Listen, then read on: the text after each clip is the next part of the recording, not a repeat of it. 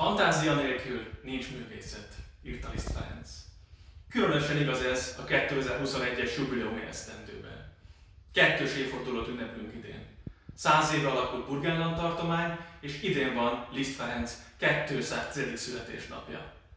A Doborjáni Liszt Fesztivál, Liszt Festival Riding mindkét eseményről megemlékezik a koncertjein.